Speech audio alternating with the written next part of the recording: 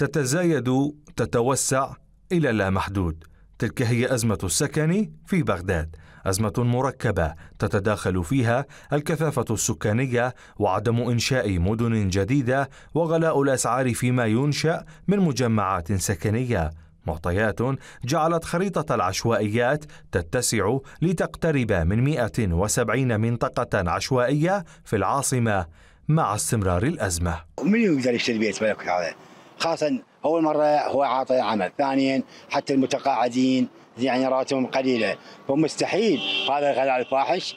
قطعة أرض ما يشتري. أطراف بغداد اللي طالع طريق طريق الزراعي طالع على المحافظات هاي ما مستغلة للأسف. لو يستغلوها وتنبني مجمعات سكنية وبدعم من الحكومة حتى يستطيع الفقير أن يشتري هاي المجمع السكني اتساع أزمة السكن مع غياب المساكن وطئة الكلفة دفع بعض المواطنين لتقسيم بيوتهم لا سيما وأن الكثافات السكانية تمركزت بقلب بغداد مما أدى إلى التجاوز على المناطق الزراعية. وحلها ضمن رؤية وزارة الإعمار والإسكان هو توفير الحاجة من الوحدات السكنية والتي تقدر بثلاثة ملايين وحدة سكنية. يعني بالأرقام الأرقام الدقيقة طبعا إذا تسمع كل واحد ممكن ينطي رقم بس أنا بقناعتي آه، ما تقل عن 2.5 إلى 3 مليون وحدة سكنية أكو حاجة فعلية لها بالعراق. تتساهم على الأقل بحل جزء من هاي المبادرة من, من الحاجة السكانية الكبيرة للعراق. وفي ظل عدم التوجه لتحديد النمو السكاني أضحى العراق